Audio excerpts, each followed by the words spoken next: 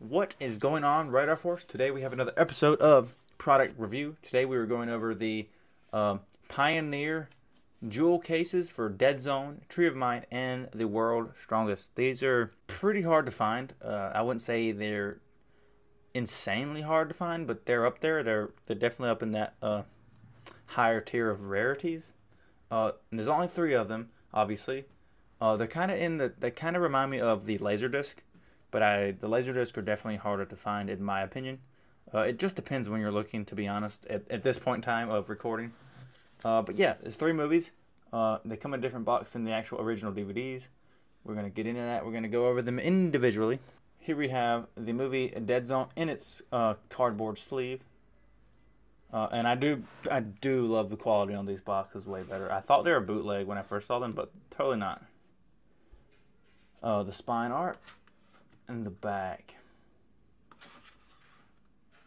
Yeah, let's see. We got the top.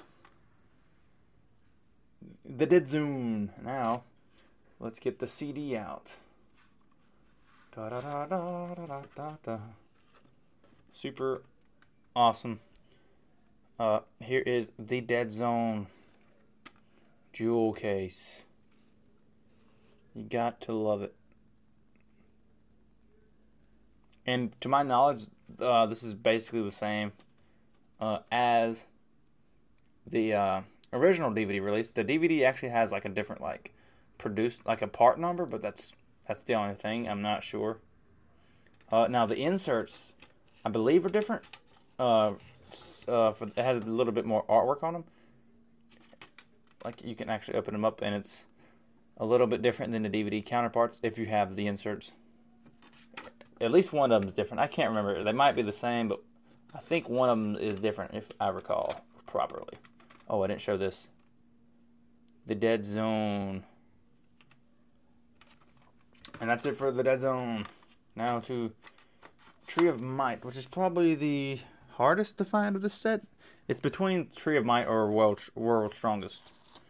Uh, Tree of Might. I love the Tree of Might artwork.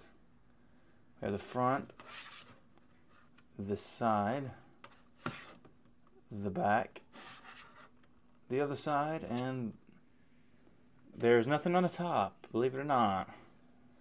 And now let's get the, the jewel case. The jewel case looks beautiful, by the way. Like the jewel cases just look amazing in these for some reason.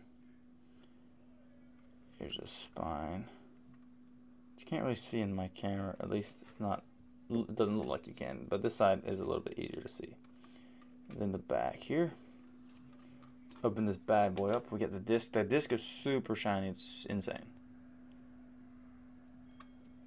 And I believe I can't. I think it's the world's strongest. Now that I think about it, the insert's slightly different. Front, scene index, and this. I believe. Yeah, I believe this is actually on the. Yeah, I think it's just just the world's strongest. It's got the weird insert, from what I recall now. Uh, and that's it for uh, Tree of Might, the movie jewel case. Uh, now going on to last but not least, the world's strongest.